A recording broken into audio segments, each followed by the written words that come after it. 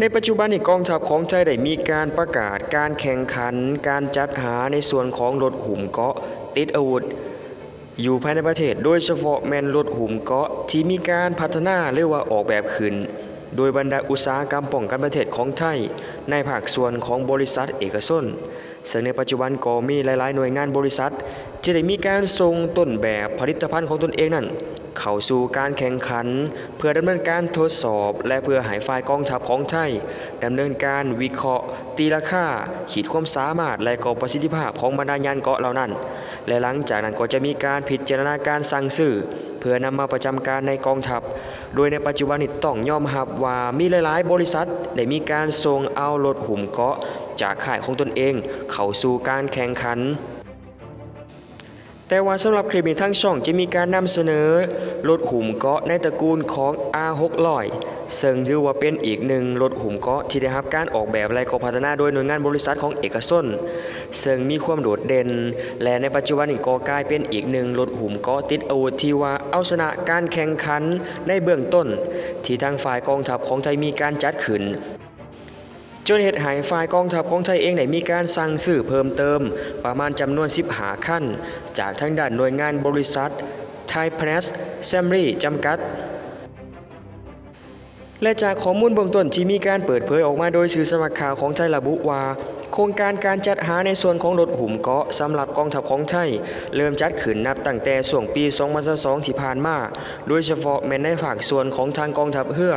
กองกำลังนาวิกโยธิน ที่ต้องการรถหุ่มเกาะติดอาวุธที่มีประสิทธิภาพสูง เหมาะสำหรับการใส่งานในกรณียกพลขึ้นบก ซึ่งจะต้องเป็นรถหุ่มเกาะที่มีขีดความสามารถเพียบพร้อมตรงต่อกับความต้องการของกองกำลังนาวิกโยธิน ในฝั่งกองทัพเรือของไทย โดยรถหุ่มเกาะติดอาวุธในรุ่นของ R600 ก็เป็นอีกหนึ่งรถหุ่มเกาะที่ถือนำเสนอ และก็ได้มีการส่งเข้าสู่การแข่งขัน ซึ่งผลปรากฏว่าเป็นทีเพิ่งพอใจสำหรับกองกำลังนาวิกโยธิน ในฝั่งกองทัพเรือของไทย ซึ่งจากการดำเนินการทดสอบเขาระบุว่า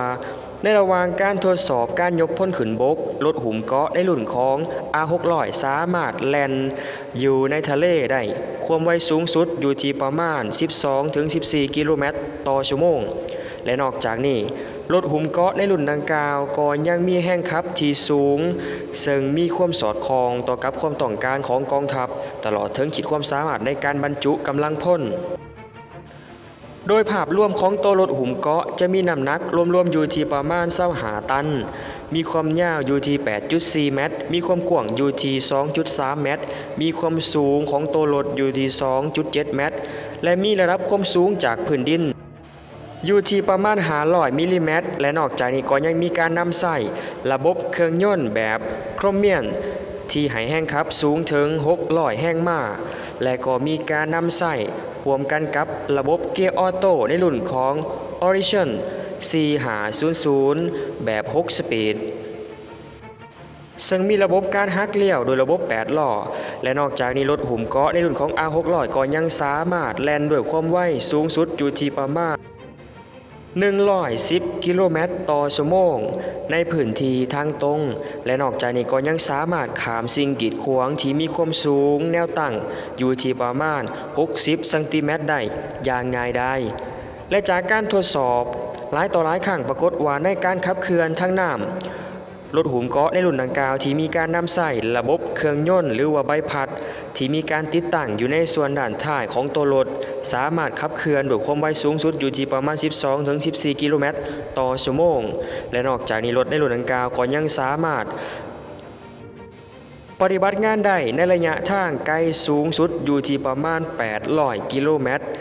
ใส่พ่นในการควบคุมรถก็คืออยู่ที่2นาย แต่ว่าจุดเด่นก็คือมันสามารถบรรทุก กองกำลังทหารได้เป็นจำนวนสูงถึง20นายในการปฏิบัติงาน ซึ่งโดยทั่วๆไปแล้วรถหุ่มเกาะที่มีการพัฒนาขึ้นมาบ่ว่าจะเป็นในฝั่งของจีนรัสเซียหรือว่าสหรัฐและก็ตะวันตกประเทศอื่นๆ จะมีขีดความสามารถในการบรรจุกำลังพลอยู่ที่ประมาณ9ถึง10 นายเท่านั้น แต่ว่ารถในรุ่นของ R600 สามารถบรรจุกำลังพลได้สูงถึง20นายซึ่งนี่ถือว่าเป็นขีดความสามารถใหม่ ที่เขาต้กองทัพของไทยจนเหตุให้มีการสั่งสื่อเพิ่มเติมจำนวนประมาณ10หาขั้น เพื่อนำมาประจำการในภาคส่วนกองทัพเรือกองกำลังนาวิกโยธิน โดยในเบื้องต้นจากข้อมูลที่มีการบันทึกเอาไว้ระบุว่าทั้งด้านหน่วยงานบริษัทผู้ผลิตทำการจัดส่งรุ่นต้นแบบจำนวน2ขั้นให้กับกองทัพเรือของไทยเป็นที่เรียบร้อย ในช่วงประมาณปี2022และหลังจากนั้นในช่วงปี2023ก็มีการสั่งสื่อเพิ่มเติมอีกจำนวนประมาณ15ขั้น ซึ่งคาดการณ์ว่ารถหุ่มเกาะในรุ่นดังกล่าว จะมีราคาต้นทุนการผลิตอยู่ที่ประมาณ1ล้านเหรียญดอลลาร์สหรัฐต่อหนึ่งขั้น ซึ่งการจัดซื้อจำนวน2ขั้นก่อนหน้านี้ก็มีการใส่จ่ายงบประมาณไปอยู่ที่ 2.7 ล้านเหรียญดอลลาร์สหรัฐซึ่งแน่นอนว่ามันมีราคาที่ถือกว่ารถหุ่มเกาะที่มีการสั่งซื้อหรือนำเข้าจากทางฝั่งของสหรัฐโดยเฉพาะในรุ่นของ 1126 s t i เกอร์หรือว่าในรุ่นของ VN1 จากฝั่งของจีน